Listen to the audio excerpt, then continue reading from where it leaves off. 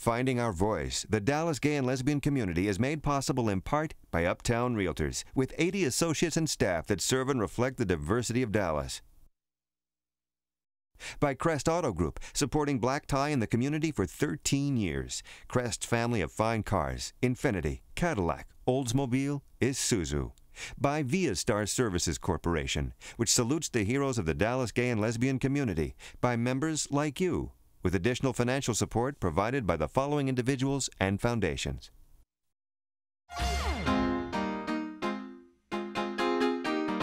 I really did not have any idea when I came out what all of the consequences would be of that one act. How can we have a future if we don't have a past?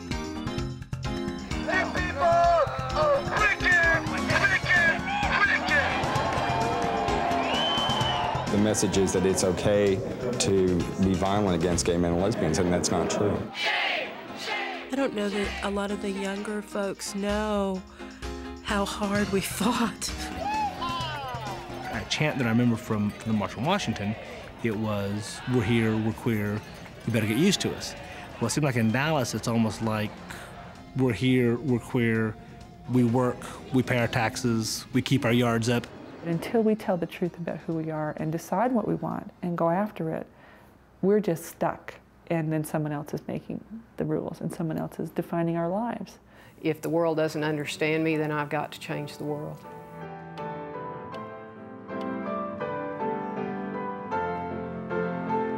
Visibility and voice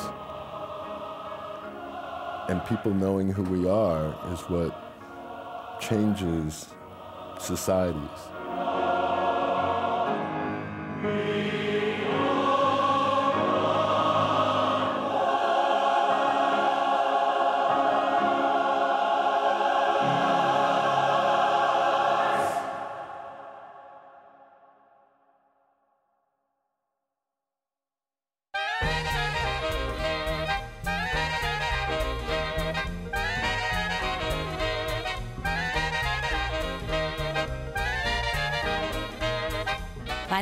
1940s, Dallas already had a growing gay culture. The grapevine was working overtime. Word had it there was a special boarding house in Oak Cliff called the Lavender Shingle. And how did they advertise? Word of mouth, you know. They never had a vacancy.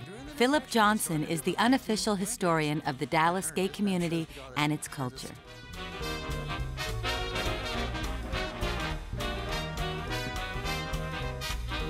26 floors up, topping off the Magnolia Petroleum Building, a flying red horse watched over the hustle and bustle of a boomtown.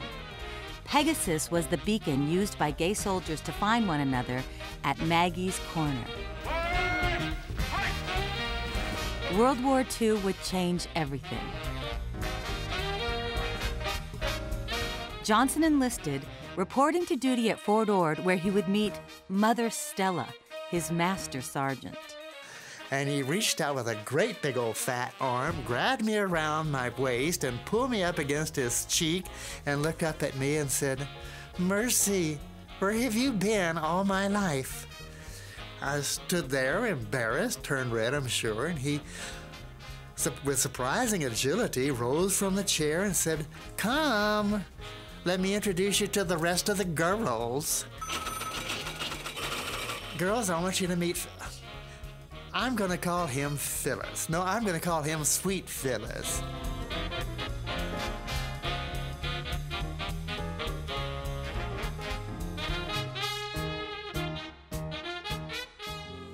Well into the 60s, gay culture continued to percolate around the country. In Dallas, it was barely below the surface and primarily in bars. There were no churches, no organizations, uh, absolutely nothing. Laurie Masters migrated to Dallas from Fort Worth in 1960. She was 17 and pregnant. I was only married to my husband about seven months. My husband and I were already separated when my daughter was born. And I was living with a woman when my daughter was born. well, I tried it and I didn't like it. But she did find enjoyment and cultural enrichment at the Villa Fontana, the first gay bar she ever set foot in.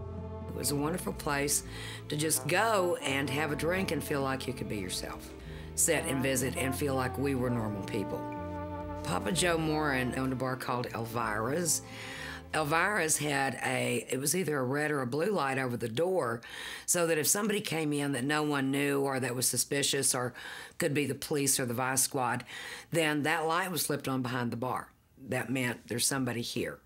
And there was also a rule that if you were on the dance floor at that time and you were dancing with a woman, a woman dancing with a woman, that we would separate and and you know sit down or start dancing with a man. It was real cloak and dagger. Police routinely raided gay bars during the 60s, hauling some of the deviant clientele off to jail. When I formed the Circle of Friends, the first gay organization in Texas, in this room, on this sofa, curtains were drawn, and people were told not to park up and down in front of my house, spread out a bit. You know, we were afraid the police would come and knock on the door. June 1969, New York City. Police provoke street riots with drag queens in front of the Stonewall Bar. Tagged as the beginning of the gay civil rights movement in America, the event did not immediately resonate with gay culture in Dallas, and it did not stop vice cops from raiding gay bars. A reporter from the Herald came to visit me and said, uh, How do you respond to what the uh, Dallas police chief has said? And I said, The man's so full of hot air, it's ridiculous. I said, We have no secrets. But uh, if he wants a battle like Stonewall, I guarantee him we could give it to him. And so began the Dallas Gay Political Caucus, with Chance West as the organization's first president. It was 1976. When I was in junior high, I even ventured to secretly and very carefully look up the word homosexual in the dictionary. Richard Vincent was the first to take up a pulpit in Dallas on behalf of the Metropolitan Community Church. Primary goals was to uh, provide a place that people could feel free to worship God without fear or discrimination. Vincent also helped organize the city's first gay pride parade in 1972. Participants marched through the heart of downtown. And as always, it was the drag queens who were pushing the envelope. There was great apprehension people were predicting that somebody was going to get killed, it was going to be a carnage, uh, that, that, they shouldn't be doing this, uh, all sorts of things. The 70s blossomed with gaiety, the momentum coming from political organization and organized religion, drag queens who took to the streets, and dykes on bikes. I did have a Harley, yes. I had a Harley chopper. I was a little bit of a exhibitionist back then. I, um, that's a nice word for it. And we all rode, and we rode. It was um, absolutely fabulous to see 40, 50 women pulling up in the parking lot of a bar on motorcycles. They called themselves the Flying W Motorcycle Club. W for women. Would you point or say anything rude to 40 or 50 dykes on motorcycles? No. we never had any problems. Never. While some members of the Flying W's were living their own version of what it meant to be a feminist in those early years of the movement, Charlotte Taft arrived in Dallas. It was 1974. I had a master's degree in feminist studies and a bachelor's degree in feminist studies of all odd things. She also became the director of one of Dallas's first and eventually most high profile abortion clinics. In the historical legal sense, all of the legal cases that were filed about gay rights were, were almost all founded on Roe versus Wade, on the concept of the right to privacy, which was a 1973 Supreme Court decision. While she was completely outspoken and committed as an abortion rights activist, Charlotte Taft was not publicly identified as a lesbian. Eventually, she would be outed on television. I realized that coming out, even though I was actually announced on a television show that was widely seen over Texas. Still, coming out is an experience that you get to do over and over and over. And the piece that I was interested in was not in any way holding myself hostage by my fear, my fear of what someone else would think or what someone else would do. That was really, really important to me claiming my integrity. Coming out is one of those strange terms that means something different to everyone. I never felt a need to have a press conference or issue a written statement. I just started dating men and just went on with my life. I was coming from a life as a married heterosexual father of two Baptist minister of music. And I came to Dallas as a single gay man, leaving children and ex wife behind, and certainly leaving the Baptist church behind. And uh, talk about a paradigm shift. All of my values, everything that I had felt in my heart to be the truth, no longer was my truth.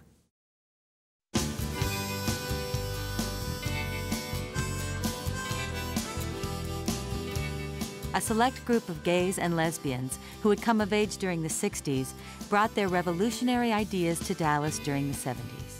We were all very committed. We all had kind of, you know, been forged by the, again, the uh, civil rights movement. My partner and I met there in 1971 when we were both members of the Gay Liberation Front at the University of Colorado.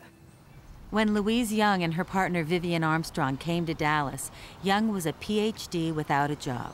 She had just been fired from a university teaching job in Oklahoma because she was a lesbian. I think that made quite an impression on me that I had to continue my activism. I, I felt like, well, if the world doesn't understand me, then I've got to change the world. When I came back to Dallas in 1976, there were a few bars, uh, there was the MCC, but there was no formal structure or really a thing that we know today, as we know today as a gay community. The grandson of a Dallas preacher, Don Baker enlisted in the Navy and there began to question whether he was a homosexual. My understanding of homosexual people was just the mental image I had that I got from um, what I underst- what I heard from the pulpit in church about how bad they were. I had had this awakening or this uh, uh, almost like a born again experience, and I was really looking for a place to live out that kind of, of new commitment. And By the time Baker hooked up with Louise Young and Vivian Armstrong, they were primed to advance gay rights.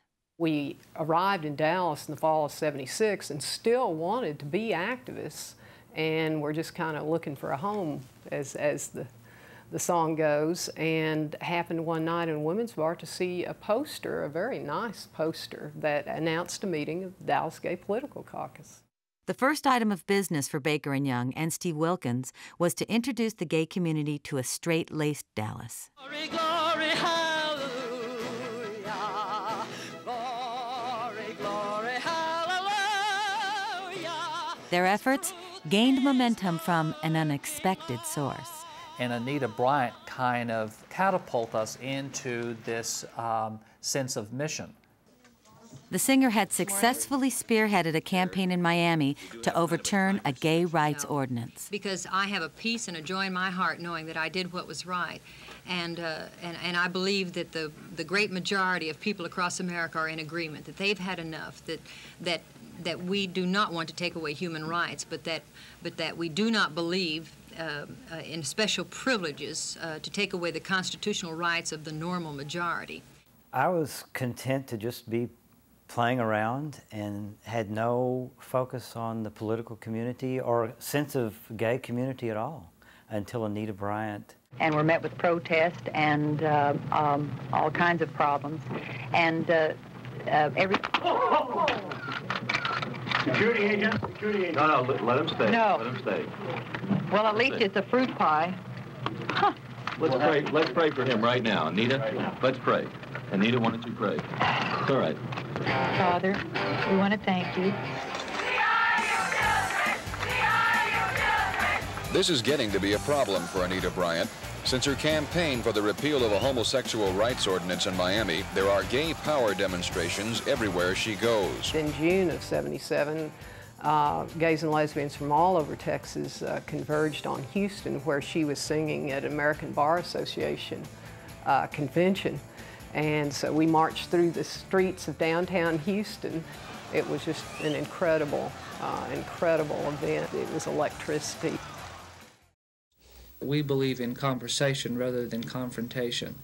This is the Dallas approach. You know, well, to me, if you go to the mayor's office, you, you go doing business, you go in a suit. One of the major milestones yes. was when Steve Wilkins took the leadership, yes. and he could articulate uh, our issues very clearly, and he kind of uh, very professionally and very systematically was able to present our cause to the community as a whole. I don't know that he realized the enormity of, of, of his contribution. We got much further in the mayor's office dressed in suits because we were there to do business. In 1977, a court ruling in Washington state prompted then Dallas school superintendent Dr. Nolan Estes to declare that any teacher identified as homosexual would be fired. Nolan Estes said there were no gay school oh, teachers. Oh yeah, he That's certainly how he did. started off. Then he made the comment about if there were, they would be fired. But right. it's his understanding there weren't any, of course, obviously. Amazing, huh? Nolan, when asked how would he do it, he said, "Oh, I'll just let the, the, the students and the parents will know if someone is gay, and they'll tell me," which was pretty terrifying to to many of us because it would have been like an inquisition like Dallas has never seen. It was crazy. Myself, I was a school teacher, and I took it personally. His name is Mark, and because of a secret he keeps from the elementary school children he teaches, he asked that his identity be withheld. The secret he keeps from his students and colleagues alike is a sensitive one. He is a homosexual. Can you give me a conservative estimate of how many gays are on faculties at area schools?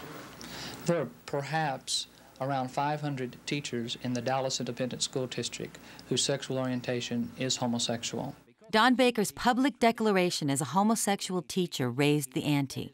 The tension grew. Steve Wilkins arranged a meeting with two friendly school board members. Afraid that he might lose his job, Baker hid inside a closet. And we talked for five or ten minutes with his talking through the door, and finally he said, I'm not doing this anymore. And I came barging through and I said, Harriet Earhart, I'm a homosexual school teacher. he said, I'm not hiding behind this door any longer. it, was, um, it was a dramatic scene. Closet doors all over Dallas were beginning to crack open for all sorts of reasons. There was a lot of unrest in, in the, the gay bars. People were being hauled in uh, to, to police headquarters uh, out of the gay bars, so there was a lot of emotion. The gay community was already organizing and was already teaching gays and lesbians in Dallas how to become involved in electoral politics, which I, I knew nothing about at all. I met Louise Young around that same time because she was very involved in Democratic politics. Louise Young served as the third president of the Gay Political Caucus. By 1980, Don Baker was president and had filed a lawsuit in federal court challenging the state's anti sodomy law, known as 2106. This law is an indictment against the integrity and dignity of all homosexuals in the state. Efforts to purge the nemesis also resonated through state Democratic Party politics. Hundreds and hundreds of people came for the sole purpose of learning how to go to their precinct convention and being elected delegates. So, and they went by the hundreds. And they went by the hundreds. and they took their little resolutions and said that they wanted to have 2106 of the Texas State Penal Code repealed. Right. And, you know, that they were looking, you know, for, you know, additional, you know, equality. It was just wonderful. Oh, it was, it was incredible. These were heady, exhilarating times, further fueled by a national march on Washington in 1979. We had a whole bus. busloads of gay Texans um, who went to Washington for the march. It was just really one of the most remarkable moments of my life to see that much energy directed towards something for good. And we were scared. We were very scared that something could happen because here we were we were targets and we were out in the open. Um, so it took great courage to do it.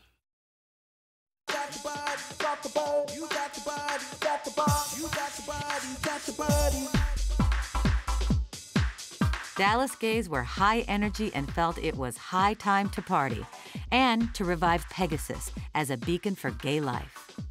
I can remember emblems of, of Pegasus, you know, just they wanted this whole image, you know, the Dallas image, fun, glitz, sparkle, all of this. It was all there. It was called Razzle Dazzle Dallas. The first party of its kind in the city's history, the event attracted thousands of gays to the Hall of State at Fair Park. And I couldn't help but remember looking around and seeing uh, these great Texas fathers like Davy Crockett, and William Travis, you know, and I'm thinking, oh my God, I bet they're just turning over in their grave right now. The idea for Razzle Dazzle Dallas belonged in large part to Bill Nelson, a man whose style clashed with that of Don Baker. And we are going to the Texas legislature, we are going to the Dallas City Council, we are going to the state courts, and we are going to the general public. The two men also had much in common. Like Don Baker, Nelson was a teacher and the grandson of a minister. So this was a new infusion of, of uh, new ideas and new blood, and and and kind of started us down a, a, a new path in new in, in in activism. The champagne flowed tonight at a bar on Cedar Springs, a celebration of the second step in a victory 37-year-old Don Baker has won for all gay men and women in Texas. A federal judge would usher in a gust of fresh air, outlawing the law that made outlaws of gay Texans.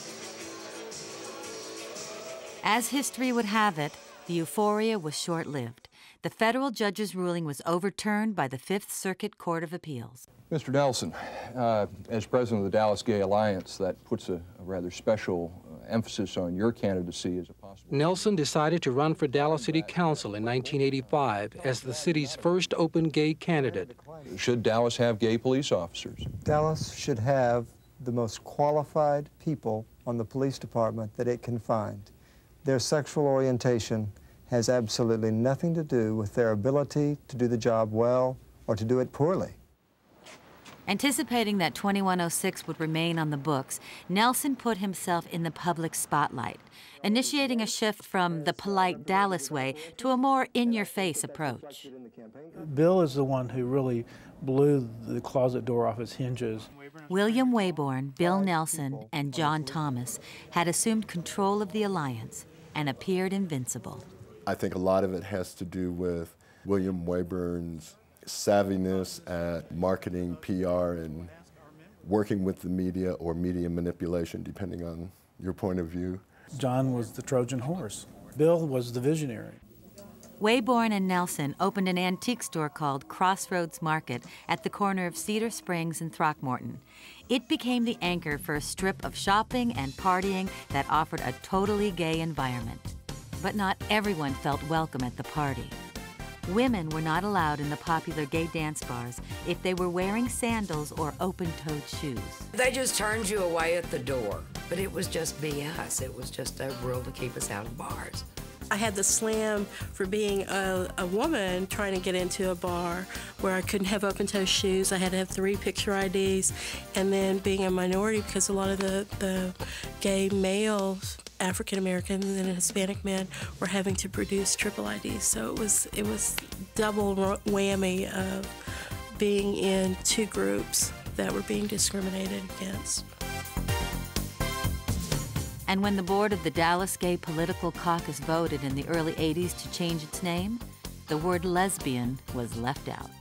I mean, it's still a source of a lot of pain, even though you've kind of put it behind you. You still think, wow, you know, when push came to shove and a vote came down, we lost the vote because we were in the minority. And I mean, that's, that's in a microcosm how gays and lesbians are in America today.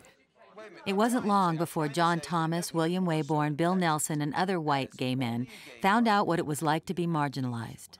One evening, we were a bunch of the guys from the board of directors. I say guys because at that time I was the only female on the board of directors of the Dallas Gay Alliance, and so we were having a social activity, a dinner or something, and we were sitting around talking, and someone said, "Oh, have you heard about this thing? There's some gay men that are sick in San Francisco, and some in New York, and there's even one case in Houston." And what someone said was, "Oh, yeah, I think I, you know, they had heard about it." But it would never get to Dallas. And when John Thomas died recently, he was the last man in that room that was still alive. So, out of that group of 18 people, I'm the only person still alive. The AIDS crisis has taken every one of them.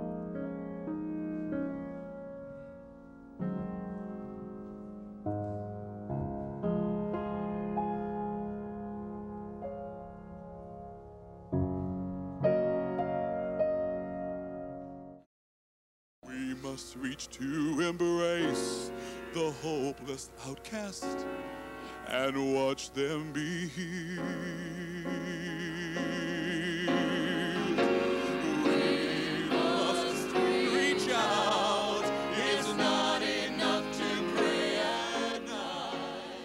There was a, a month when, shortly after I came here in 1987, there was a month when we had 18 funerals. And that was in a church that was only averaging about 280 or 300 in attendance at that time.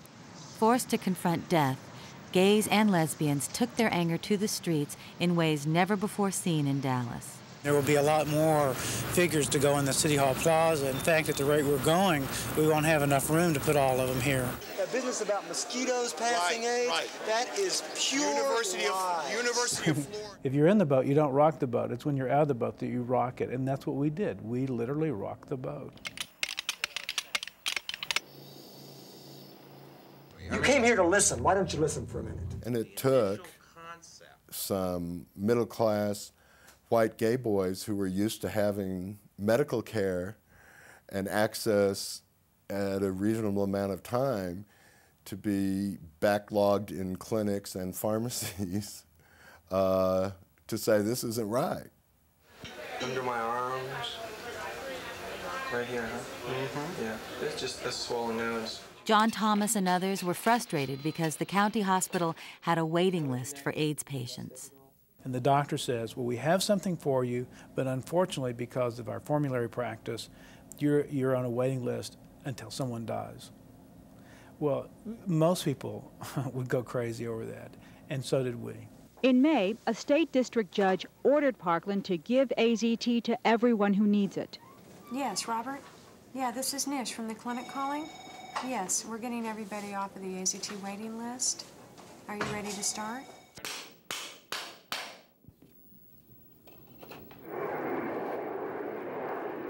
I mean, the sun was just coming up, and you could hear the hammers, and it was it was just powerful. And certainly in those days, the activities that were ongoing against our community were criminal. If it screws up, there are no protections, no federal, no state, no city, no county. See, that's our problem. Pure stupidity. Did a study? Let's have Which the whole right- study. It was negligent homicide, in my opinion. And so we had to do some things that obviously got lots of attention. I mean, my job was sort of to keep uh, the media focused on what we were going to do, whether it was building crosses and putting them up in a vacant lot, or chalking outlines on City Hall Plaza, or dumping bodies on the county's doorstep. The time for studies is past. The time for action is now. It was very unusual, and I don't think anything else could have brought it that brought it forth. I think people had to be dying, and people saw it as a life and death issue, and that's the only way here in Dallas that that kind of activism could be brought forth.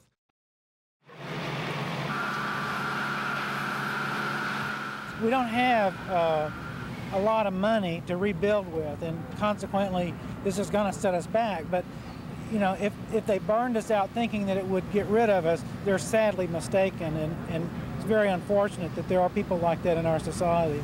Bigotry was believed to have caused the fire that gutted the Gay Alliance offices. Instead, it was set by a gay man intent on covering up a burglary.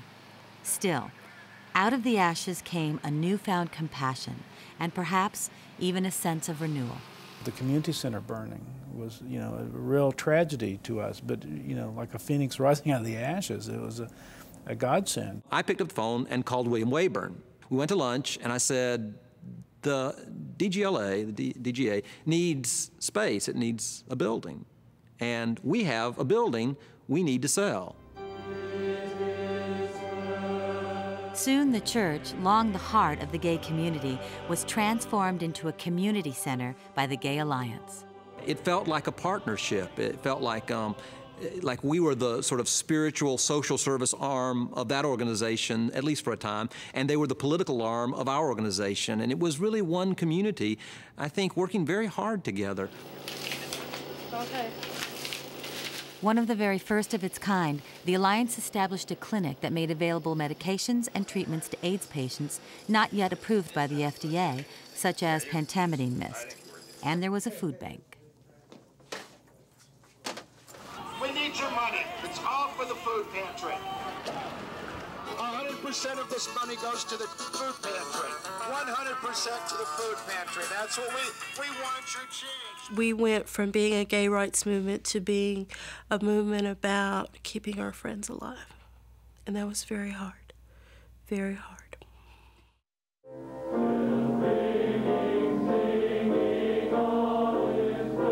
Had the goal that if I was going to be the conductor of the Turtle Creek Chorale, my goal was to make it the best men's chorus in the world. Little did I know I was getting into uh, social action as well. Recently divorced from the Baptist Church and his heterosexual married life, Tim Seelig bursts out of the closet with fervor, only to find himself face to face with the very closeted gay men's chorus.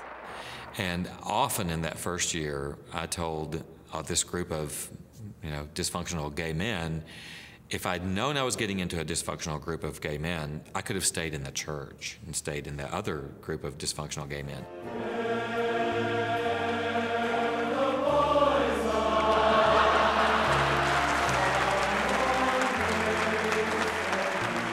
As they emerged from the closet, the chorale grew stronger and more visible in the face of death. This chorus has lost many singers, but we haven't lost any of their spirits. And somehow we keep going. There never seemed to be enough tears to express such grief over the loss of so many. By 1992, tens of thousands of people from across the country gathered to remember their loved ones. A mammoth quilt told the story.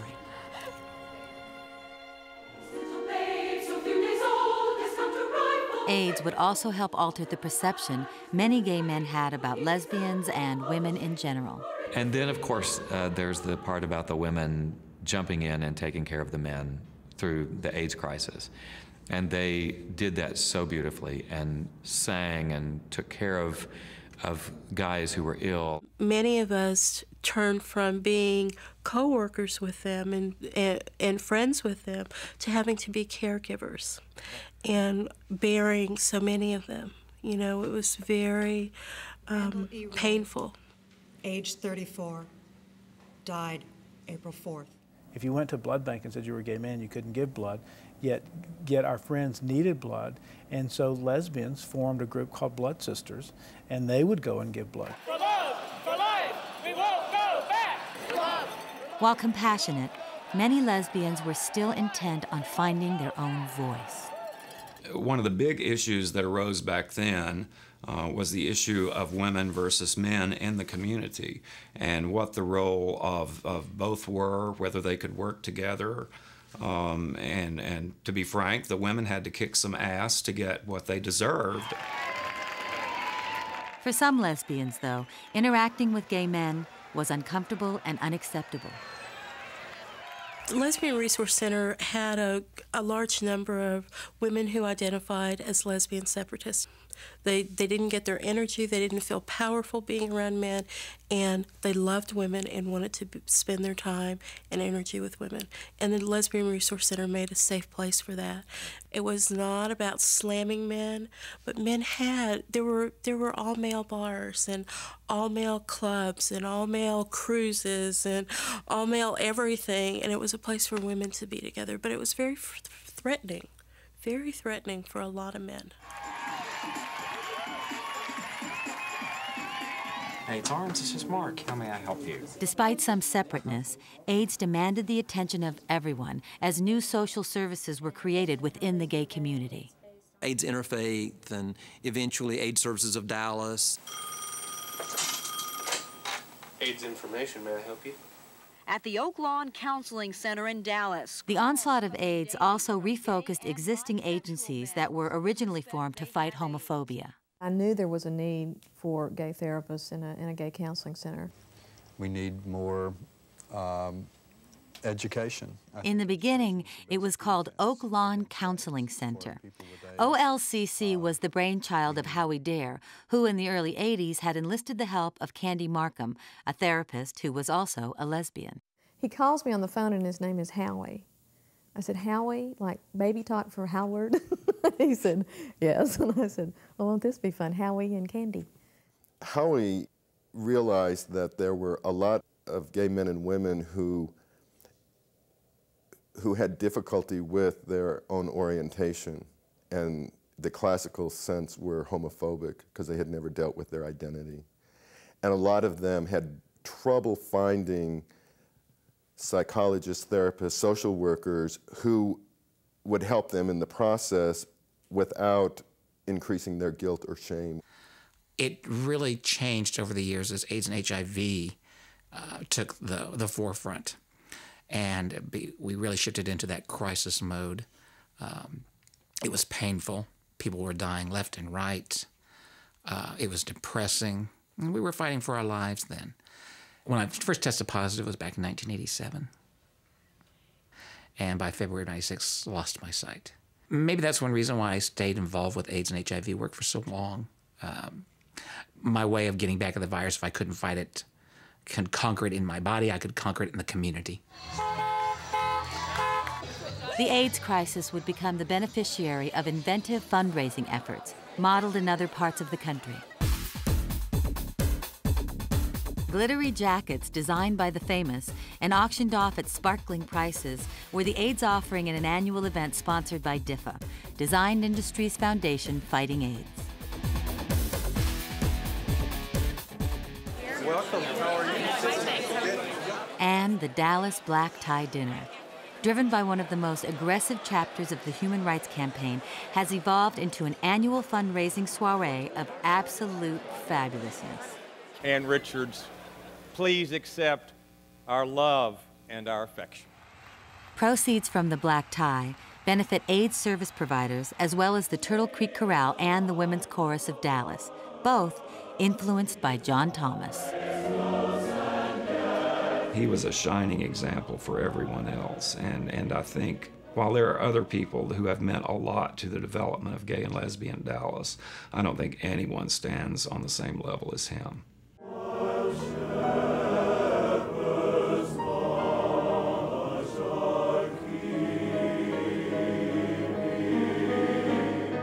John within months of my arrival here. And he said, You're really green. We need to go to lunch. And I was like, I'm not all that green, but okay, lunch is good. So we went to lunch and we would go to lunch periodically. And then he said, We need to go to lunch every week. And we went every Wednesday for nine years. John Thomas will always be a David who taught us to throw stones and slay the giant of injustice. And so, to break the other part of the ground of this bell wall, will you welcome Mr. John Thomas? As one of his final gestures, John Thomas agreed to help lead the capital campaign for a new and larger cathedral. So we went and asked John Thomas first. He was the top man on the list, and was clearly the person that we wanted to do this. And so, uh, so we went to him, and he said, "Well, you know, so you, are going to need a woman. If I did this, who would you hope would be the woman?" And we said, "Well, we would hope it would be Laurie Masters." And he said, "Well, if Laurie will do it, then I will."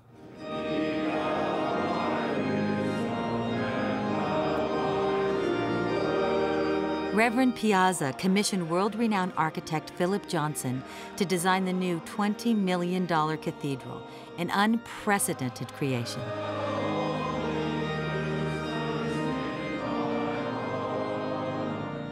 Jesus took the cup. Piazza understands, the world understands human emotions, and he knows why he's building this cathedral.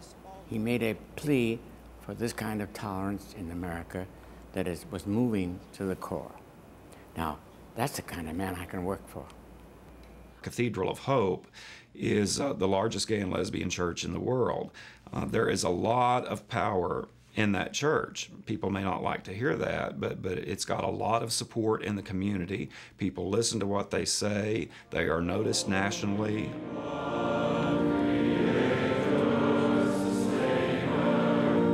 shall sustain you forever.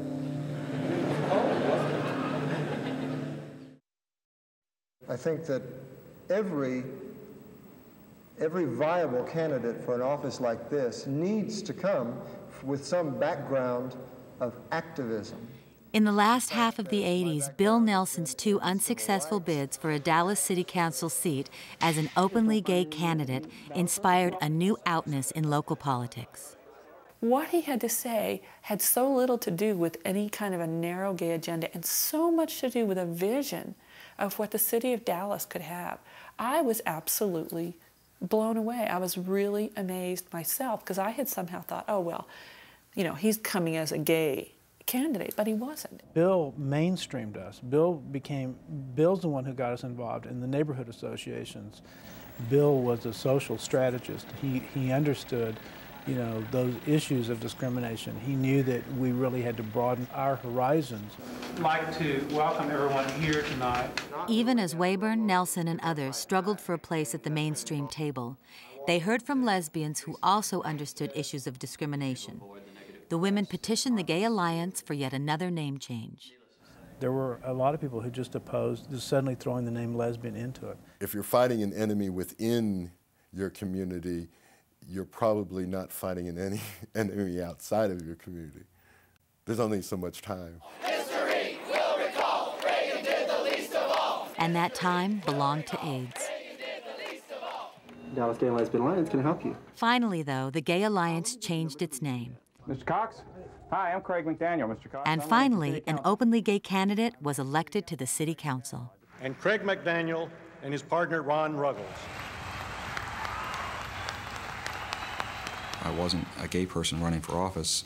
I was a neighborhood leader and, and somebody interested in, with the right experience running for office who was gay. Today, Dallas has sworn in the most diverse city council it has ever elected. And I am proud to represent and be a part of that diversity. While Craig McDaniel was the only openly gay politician in Dallas, he was by no means the only gay person who had ever been elected to city council. When I ran the first time, um, I went to go visit a few people in the gay and lesbian community who I knew, um, and one of them was John Thomas. And I said, John, I'm, I'm going to run, um, and I just want you to know that, that I'm not going to run as an openly gay candidate. And Chris Luna never discussed his sexual orientation, but he never tried to pass as a heterosexual either. I think the people that were elected played the game, and that was the Dallas way to do it. That does not mean that we don't still examine those departments' budgets carefully. Craig Holcomb came from a family that was part of Dallas establishment. I was married. I had a business. In the course of serving on the council, I got a divorce and the business went into bankruptcy, but hey, no deal's perfect. and I came out. That's as kind as I can be. Even uh, though Craig McDaniel already had run successfully as an openly gay candidate, Jose Plata chose not to take that route when he made a bid for the Dallas School Board. Plata nearly won the January election with 49% of the vote. But since then, Dallas's Hispanic media reported he's gay, something he declines to address. It was never an issue for this campaign, and it never will be. And I wasn't running because I was a gay man. I was running because I was more concerned about what was happening to the lack of learning and the lack of standards and the lack of motivation to get our kids through schools. It's, it's just always been that education has been in my life. And I'm the 10th of 11 children, uh, and uh, we always understood that education was important to us to, to get to move on and be successful. Tribble and Griffin will not allow us to forget about this, Jack. Sorry, we'll see you in court.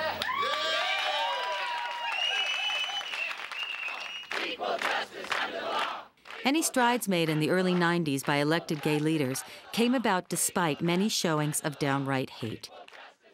Dallas Judge Jack Hampton told a newspaper reporter he went easy on a man who killed two gays because he didn't much care for queers. Do not mean to condemn the homosexual community generally, and I used a poor choice of words. I'm sorry about that. I certainly was not out publicly at all, was not involved in the community in any major way. And there were two protests that day, and I, I think, and I went to a candlelight vigil, and I went by myself, and so that was like, you know, sort of scary. And I sort of hid behind my camera. That was a major catalyst that got me involved in the community, that made me realize that whatever needs to be done, whatever we're going to be able to do to stand up for ourselves, we have to do it ourselves. The gays have been given a feather pillar ever since they come out of the closet. We eventually, we have no rights. We will never forget. The public outcry provoked by the judge's inflammatory statements also brought up contradictions within the gay community itself, including out and out racism. You know, you would think of all communities that the gay community will be more accepting and more understanding to this issue. But what I've found is totally opposite. I went to a bar and was asked for three IDs. I had my birth certificate and my driver's license. That was not sufficient. I felt that I, uh, to, to be seen and to be heard, I had to get involved. Inside the gay lifestyle or outside in the real world, discrimination was never far away and all too often determined who got hired, thanks to that old nemesis of the gay community, 2106. I, I got down here Monday morning and then I was flat out told because I am gay and willing to admit it, I just, I'm disqualified from finishing my tests for the Dallas PD. Our uh, policies uh, and, and, questions and standards that we have set within the Dallas Police Department parallel those uh, state statutes that touch on the topic of, of deviant sexual behavior. Council members called for a public debate on the matter. Mr. Secretary, we'll uh, now convene the public hearing for item 77, which is a public hearing on police hiring policy regarding the prohibition of the employment of, of homosexuals by the police department. And it was ugly. And there were people at City Hall that were wearing buttons, um, people from the extreme radical right. And it had the buttons, round buttons that said homo with a big red line drawn through them. My name is Clyde Riddle Jr., and I'm definitely opposed to it. I'm Sister Mary McLemore. I'm against the change. Against the change. I'm strongly for the change.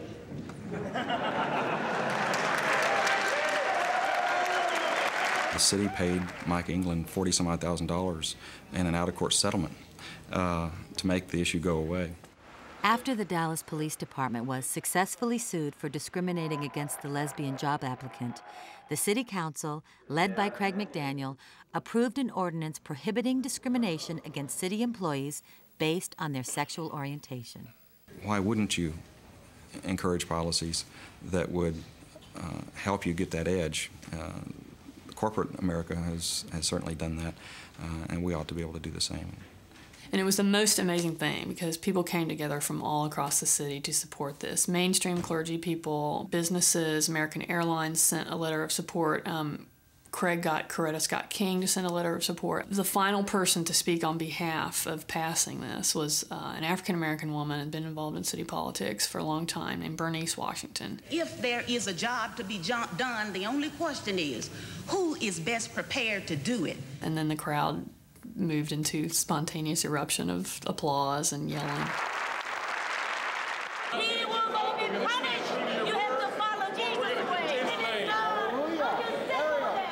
While the City Council's support of the non discrimination ordinance offended some, it also called into question once again the arbitrary nature of the anti sodomy law. That's still on the books. John Thomas and Charlotte Taft were among a group of five who once again challenged 2106 and lost. And it just, you know, judges are elected in Texas, and it felt like one more thing that it was just still too hot for people to handle, which is, you know, I, I'm, it's almost unbelievable to me to think that 2106 is still on the books. And after all the Dallas stuff and all the police department stuff and you know, how it, it's almost like the legislature is going to be the last to know that it's over.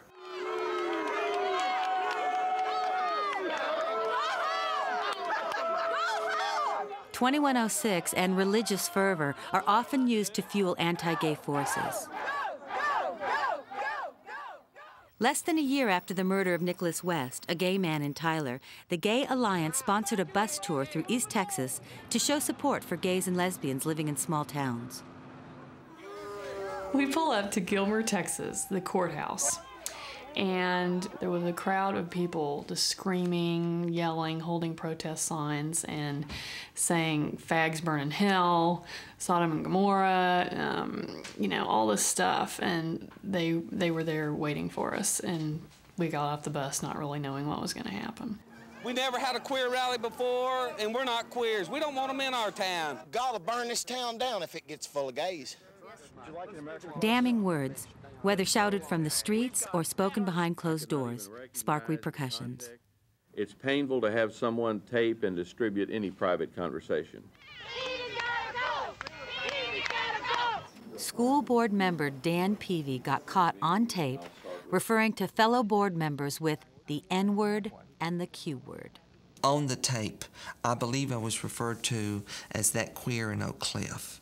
And, and jokingly, I, I, tell people it, it, he got the word wrong. It's not queer, it's queen.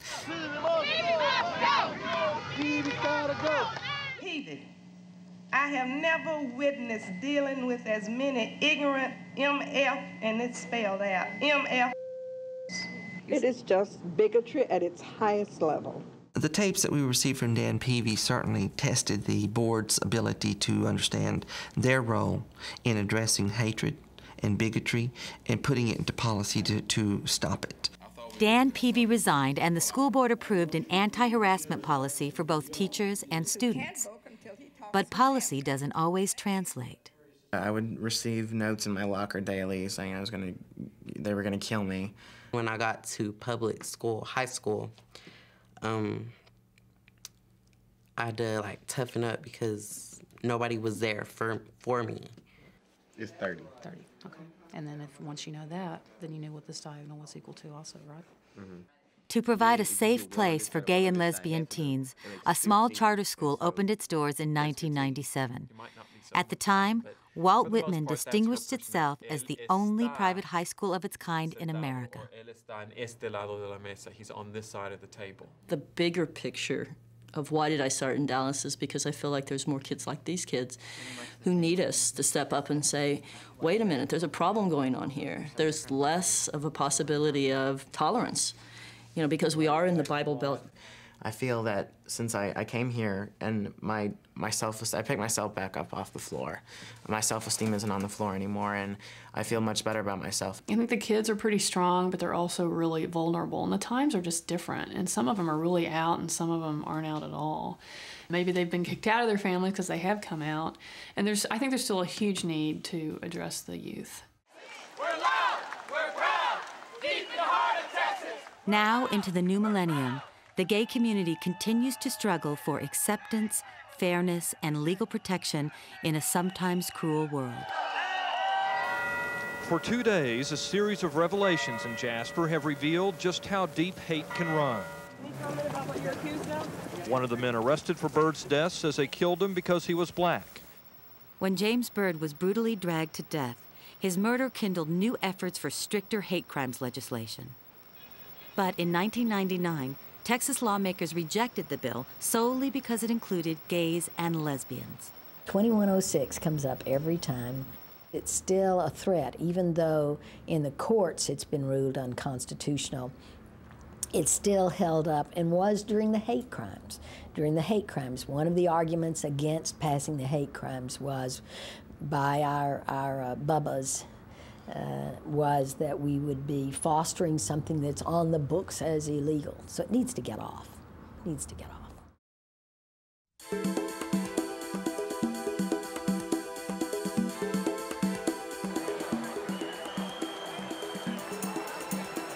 I think that's what almost everybody wants to do is to make the world better for those who, who come after them and, and certainly I, I hope that, that I have done that.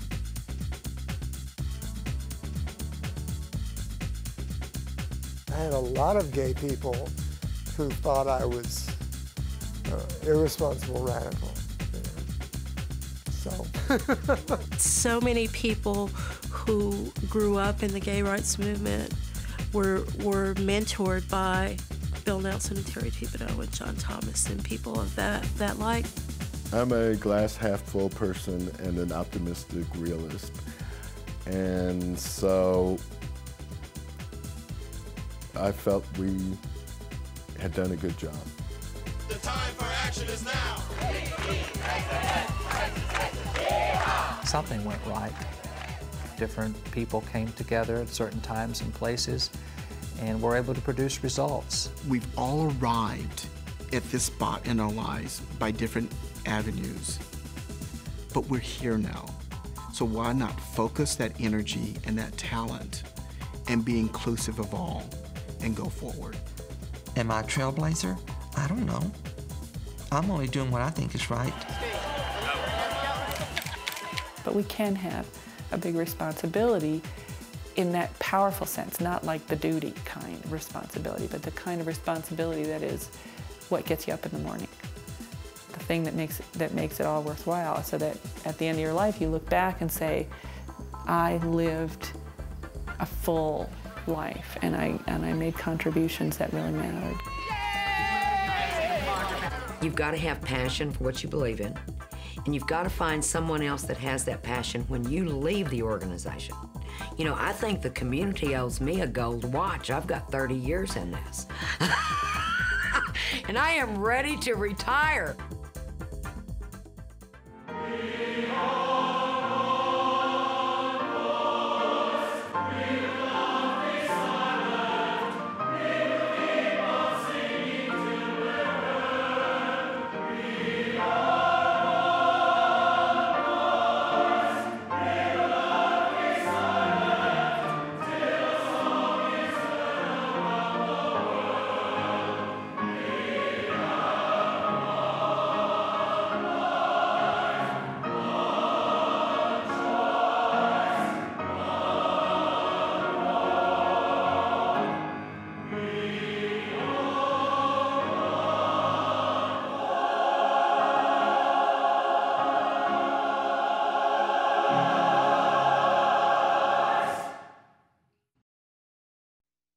Finding Our Voice, the Dallas gay and lesbian community is made possible in part by Uptown Realtors, with 80 associates and staff that serve and reflect the diversity of Dallas. By Crest Auto Group, supporting black tie in the community for 13 years. Crest family of fine cars, Infiniti, Cadillac, Oldsmobile, Isuzu. By Via Star Services Corporation, which salutes the heroes of the Dallas gay and lesbian community, by members like you with additional financial support provided by the following individuals and foundations.